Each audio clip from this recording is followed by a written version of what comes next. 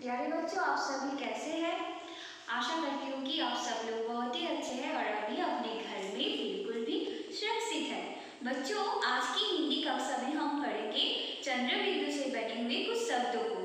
तो चलो बच्चों, ध्यान से देखना।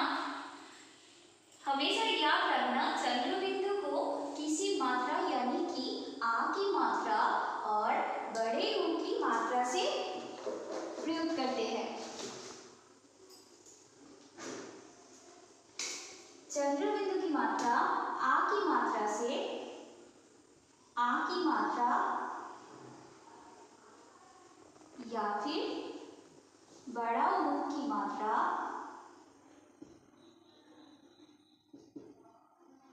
प्रयोग किया जाता है। तो चलो बच्चों चंद्र बिंदु से बने हुए कुछ शब्दों को पढ़ो।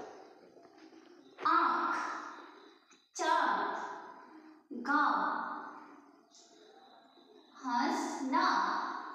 किसी भी वर्ण की खड़ी बार के ऊपर चंद्र बिंदु का प्रयोग होता है। तो आ की मात्राओं के साथ बड़ा की मात्रा के साथ और किसी भी वर्ण के खड़ी पार पर ही चंद्र बिंदु का प्रयोग होता है।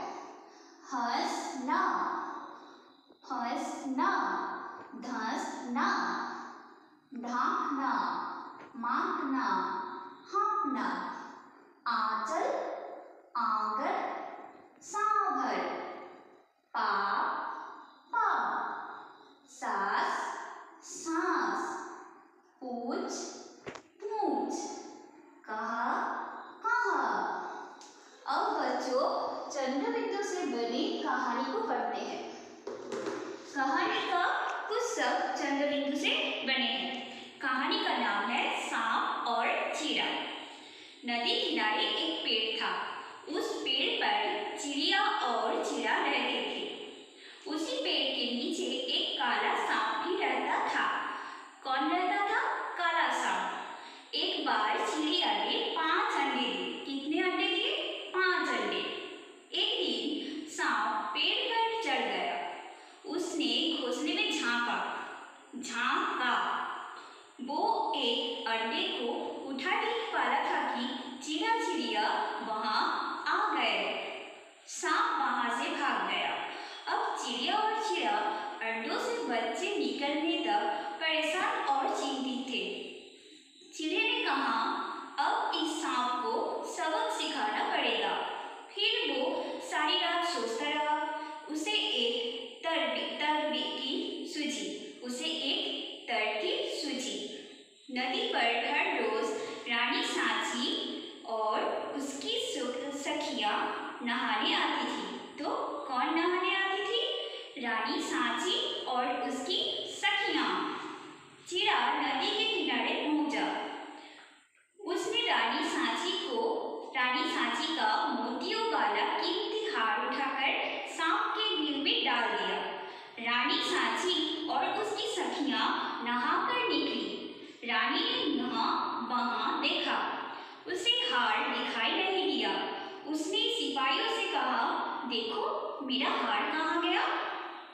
यहाँ पर ज़रूर कोई है। आसपास ढूंढो सिपाही हार ढूंढते हुए सांप के बिल के पास पहुँचे वहाँ हार का कुछ भाग बाहर दिखाई दे रहा था वो सांप के बिल से हार निकालने लगे। तभी सांप ने अपना मुँह बाहर निकाला। सिपाहियों ने उसे पकड़कर टोकरी में बंद कर दिया। तो सांप को कहाँ पर बंद कर दिया था? टोकरी में।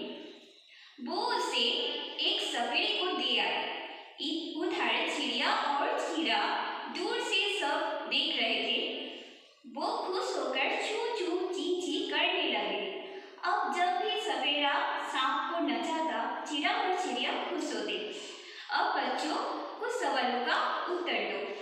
नदी किनारे क्या था? नदी किनारे एक पेड़ था। पेड़ पर कौन चढ़ गया? पेड़ पर एक काला सांप चढ़ गया।